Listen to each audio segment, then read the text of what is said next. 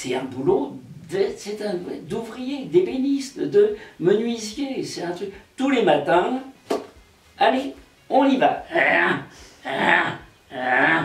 ben, c'est ça le dessin, de bande dessinée. C'était un petit métier.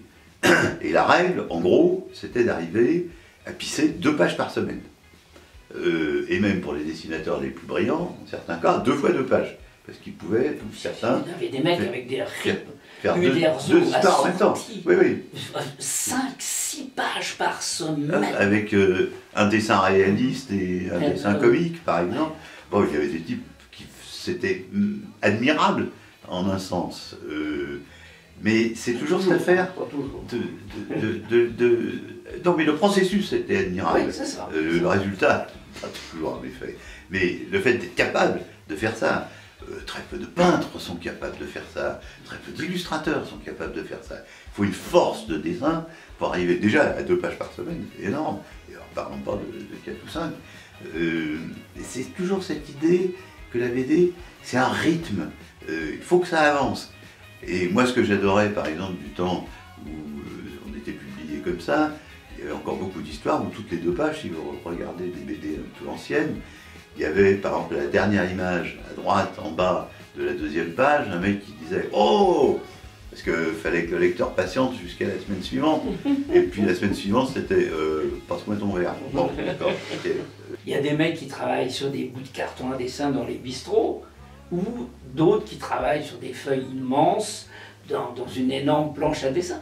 Chacun fait comme il veut. Après, il faut que ça soit réduit au format d'un livre. Je travaille, euh, ma planche elle est grande comme ça, et euh, elle se, j'ai un dessin relativement clair et lisible, donc réduit, même réduit assez petit, ça, ça tient bien le coup, ça, ça reste en place. Mais ça c'est très important, parce que les trucs surchargés qui ne tiennent pas du tout mm. euh, la route, qui ne sont pas lisibles, ou alors tu ne comprends pas, c'est surtout, encore une fois, l'art de la narration graphique qui est intéressant. Le dessin, les meilleures bandes dessinées, les meilleurs auteurs, si tu ne sont pas forcément tous des génies du dessin. Mais ils ont mis au point une manière de raconter. Moi, je travaille euh, comme un écrivain, d'ailleurs pas du tout comme Jean-Claude. Moi, je travaille très vite, j'ai pas le moindre état d'âme. Ce que j'aime, ce que j'aimais, c'était faire du vélo, faire des voyages, m'en aller, ne pas travailler. Donc, euh, quand je travaillais, c'était très intense. Euh, et en général, je n'étais toujours pas content de moi-même. Euh, Jean-Claude, pas forcément, ça c'est son problème. Donc, c'est de trouver, je parlais tout à l'heure, d'un rythme. Ce qui est très important, c'est quand on fait des scénarios de BD, c'est qu'il faut que ça avance, sans arrêt.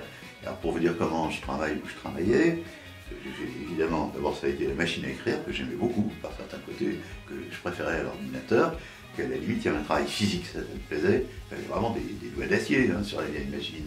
Euh, une espèce d'engagement euh, qui me plaisait.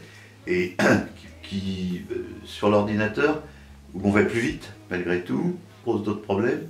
Et par exemple, j'adore faire des dialogues, et surtout les dialogues de Lourline, et de façon générale d'ailleurs, des dialogues féminins. C'est-à-dire qu'en même temps que je suis en train de taper, je suis obligé d'avoir une petite feuille à côté, parce que pendant que j'écris le dialogue, je pense déjà à un autre euh, qui va arriver, une page ou une page et demie plus loin, où je trouve un truc euh, rigolo, euh, intéressant. Donc à la fois il y, a, tout le boulot de frappe, puis en même temps, il faut que j'oublie ça, ah oui, tiens, il y a ça aussi. et de travailler, c'est d'arriver à être dans un certain état quand même d'ébullition pour le scénariste. Les scénaristes qui écrivent lentement, je ne pense pas qu'ils puissent exercer ce métier-là très longtemps. Il faut vraiment, faut que ça sorte. Et puis d'ailleurs, euh, quand ça va pas, euh, cela dit, je suis comme Jean-Claude.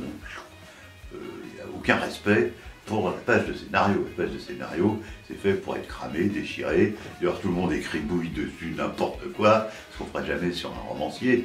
Mais ça, euh, ça fait partie. Et personne ne le lirait, ton roman. mais ça fait partie du, métier de scénariste. Tout le monde tripote. Et, j'ai certains manuscrits qui ont été tripotés par des mains malpropres, on peut le dire, voire même néfastes et qui ont rajouté des tas de trucs. Alors après, euh, on discute ou, on laisse tomber. Mais c'est comme ça que ça se passe, enfin très, très concrètement.